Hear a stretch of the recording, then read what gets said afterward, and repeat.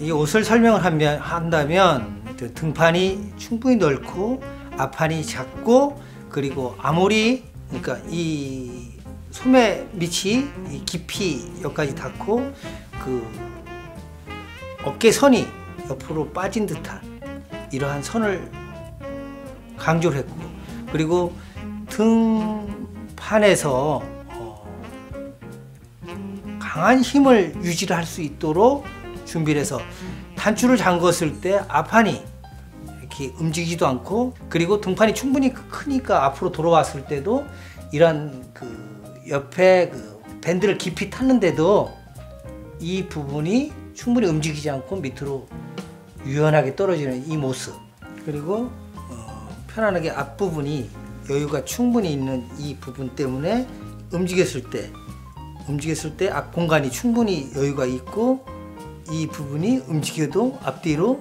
자연스럽게 어, 공간이 확보하고 있습니다. 그리고 이 앞 역부전도 자연스럽게 밑으로 흐르면서 밀착되면서 뒤로 빠져 있는 이 모습 이- 이런 밀착감 어, 슬림해 보이는 이런 밀착감 그리고 자 움직여도 뒷짐을 져도 이 부분이 움직이지 않도록 만들었습니다. 이러한 하나하나까지도 생각하고 이 라펠 이 끝선 하나하나까지도 그 섬세하게 어, 자부심을 가지고 만들었습니다. 테일러 배우는 지가 한 48년 넘었어요. 옛날 그 식으로 해서는 안 되는데 모든 세계적인 브랜드가 다 변했는데 안 변했기 때문에 옛날 양복점들이 많이 퇴보를 하고 후퇴를 한 거라.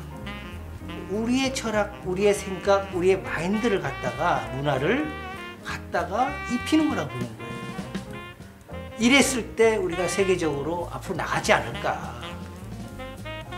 그런 생각에서 이제 시작했고 지금 또한 많이 하다 보니까 나폴리 스타일하고 뭐 피렌체 스타일하고 그 거기들 그들의 그 생각 그대로 똑같이 하면서 거기에 우리의 마인드를 또 넣고 우리 생각으로 또 만들어지고 있어요.